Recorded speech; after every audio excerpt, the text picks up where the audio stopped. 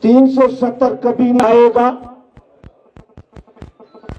تین سو ستر انہی سیاسی لیڈروں کے فائدے کے لیے تھا نہ کہ عوام کے فائدے کے لیے۔ تین سو ستر جو مرکز سے فنڈس آتے تھے، وہ ان کے جیبوں میں جاتا تھا۔ تین سو ستر ان کی کوٹھیوں کے لیے تھا۔ تین سو ستر ہوائی جہازوں کو سفر کرنے کے لیے تھا، نہ کہ کشمیری عوام کے لیے۔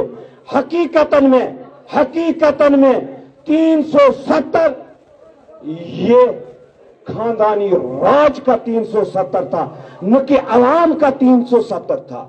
تین سو ستر، تین سو ستر سال کے بعد بھی نہیں آ جائے گا۔ نہیں لا سکتے، بھائی جھوٹ ہے۔ میں اعلان کہہ رہا ہوں۔ یہ جھوٹ ہے تین سو ستر کبھی واپس نہیں آئے گا۔ نہ آنے والا ہے۔ بھائیو، اس پہ ووٹ نہ دینا۔ اس پہ ووٹ نہ دینا۔ اگر ان کو تین سو ستر رکھنا تھا، کیا انہوں نے تیس سال سے بھارتیہ جنتا پارٹی کا منشور نہیں دیکھا؟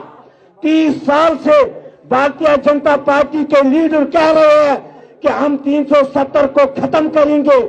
کیا تین سو سال تیس سال سے یہ سوئے ہوئے لوگ تھے۔ اب یہ نہیں لا سکتے ہیں۔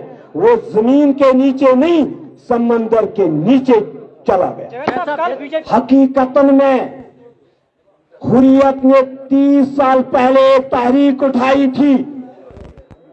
لاکھوں نوجوانوں کو مرگزار میں پوچھایا۔ جب جموں جاتے ہیں تو ایک بولی اب دلی جاتے ہیں تو ایک بولی۔